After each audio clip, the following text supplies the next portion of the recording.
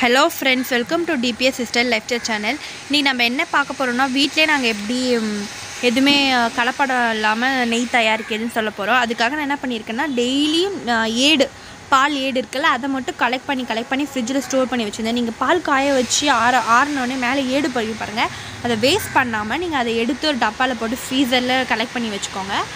அது கூட ஒரு ப- ஒரு ஐம்பது எம்எல்க்கு நான் தயிர் எடுத்திருக்கேன். கட் கெட்டியான தயிர்.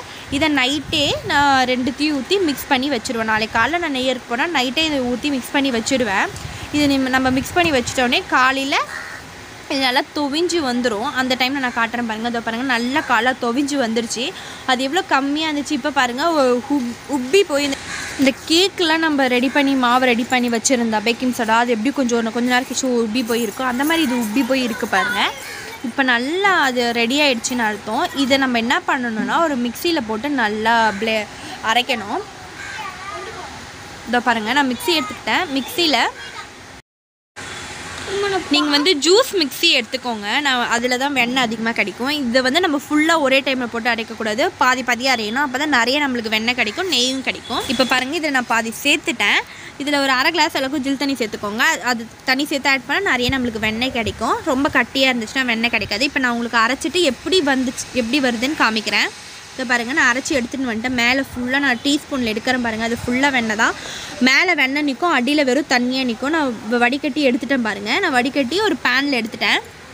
இதை பாருங்கள் இது ஃபுல்லாக வெண்ணெய் தான். எவ்வளோ கட்டி எவ்வளோ சூப்பராக வந்திருக்கு பாருங்கள் இப்போ இதை அப்படியே அடுப்பை கொளுத்தி அப்படியே கடாயோடு எடுத்து நீங்கள் வச்சுருங்க அடுப்பில்.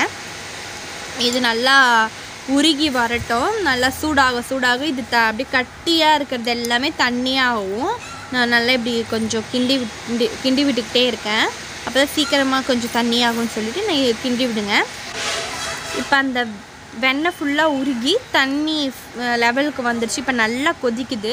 இது இன்னும் நல்லா கொதிக்கணும். நான் நல்லா கொதிக்கக்குள்ளே காமிக்கிறேன். அதை பாருங்கள் நல்லா கொதிக்குது பாருங்கள் அது கொதிக்கக்குள்ளே லைட்டாக அந்த எல்லோ கலர் நெய் கலருக்கு வருது. இது ஓரளவுக்கு ரெடி ஆகிடுச்சு இது நல்லா எனக்கு கொதிச்சு சுண்டனோடனே நான் உங்களுக்கு காமிக்கிறேன். இது நடுவில் நம்ம இது கூட ஒரு டோஷி செய்ய போகிறோம் அதுக்கு தேவையான பொருட்கள் வந்து ராகி மாவு ஒரு மூணு கப் எடுத்துக்கோங்க. முருங்கைக்கீரை நான் ஆஞ்சு க்ளீன் பண்ணி வச்சுருக்கேன். எவ்வளோ மாவு எடுக்கிறீங்களோ அதுக்கேற்ற மாதிரி முருங்கைக்கீரை எடுத்துக்கோங்க. சர்க்கரை உங்களுக்கு எவ்வளோ சுகர் உங்களுக்கு சேர்த்துக்கணுமோ அதுக்கேற்ற மாதிரி எடுத்துக்கோங்க. ஏலக்காய் தூள். இப்போ நல்லா நெய் கொதிச்சு வந்துருச்சு. இந்த மாதிரி திரி திரியாக இருக்குது பாருங்கள் இந்த டைமில் நம்ம பண்ண போகிறோம் ஆஞ்சு முருங்கைக்கீரை வச்சுருக்கோம்ல அதை இதில் சேர்த்துடணும். இதை பாருங்கள் முருங்கைக்கீரைலாம் முருங்கைக்கீரை போட்ட உடனே அது நல்லா பிரிஞ்சு வந்துடும் நெய் தனியாக அந்த அந்த கட்டி கட்டியாக பிரிஞ்சு இந்த தனியாக பிரிஞ்சு வந்துடும் இந்த டைமில் நீங்கள் இதை ஆறினோடனே வடிகட்டி எடுத்துக்கோங்க. நான் வடிகட்டி காமிக்கிறேன். இதை பாருங்கள் நான் வடிகட்டிட்டேன். எங்களுக்கு வந்து ஒரு இருபது நாள் தான் நான் ஏடு எடுத்து வச்சேன். எங்களுக்கு வந்து ஒரு ஒன் ஃபிஃப்டி எம்எல்க்கு நெய் கிடச்சிது.